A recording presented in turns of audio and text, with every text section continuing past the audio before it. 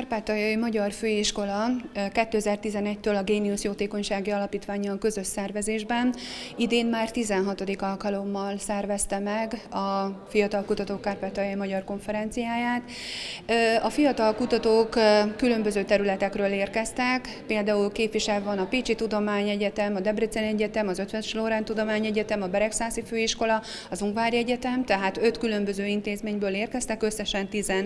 Ők azok, akik 35 évnél még nem idősebbek, alapdiplomával rendelkeznek, de fokozattal még nem rendelkeznek, hiszen ez volt a kritériuma a felhívásnak, amit 2019. júniusában tettünk közzé, és októberig lehetett jelentkezni erre a konferenciára. A programnak a célja, hogy tapasztalattal rendelkező kutatók, professzorok, doktor, doktorok, elismert szakemberek, és ezek a fiatal kutatók, akik ide jelentkeznek előadásukkal, találkozzanak.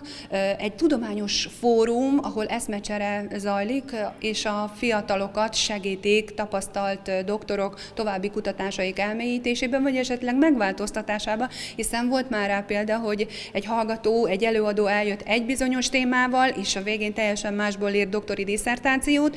Tehát nagyon fontos, hogy ez a további értelmiségi rétegnek a kinevelése, a jövő doktorainak, professzorainak a kineveléséről szól, és minden évben több szekcióban zajlik, és illeszkedik a Magyar Tudomány ünnepének sorozatához, amit ugye november folyamán valósítanak meg határon innen és határon túl.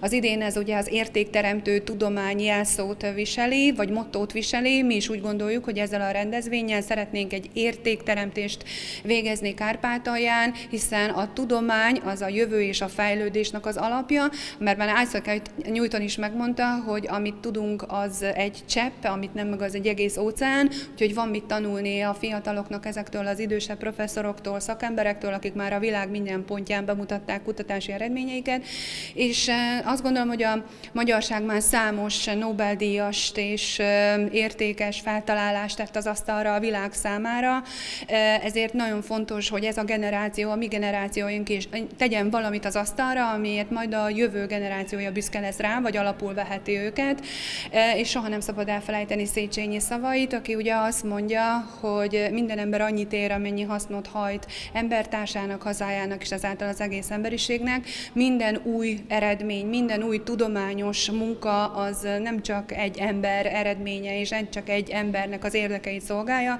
hanem az egész nemzetét és az emberiségét, úgyhogy én kívánom nekik, hogy meg elérjék a célt, amiért ide jöttek, és mielőbb doktori fokozatot szerezzenek. Nagyon változó az összetétel a létszámnak, a létszám is, és az összetétele is, hogy milyen szekciókban szervezzük meg a konferenciát. Időnként számos filológus van, számos biológus, kémikus, vagy fizikus, matematikus. A mai napon elsősorban történészek, vallástörténész, oktatás történész, tehát elsősorban történészek vannak jelen, de természettudományi szekcióban is vannak matematikusok, biológikus, kémikusok. Tehát azt gondolom, hogy ez mindig nagyon vegyes, és minden éven más és más.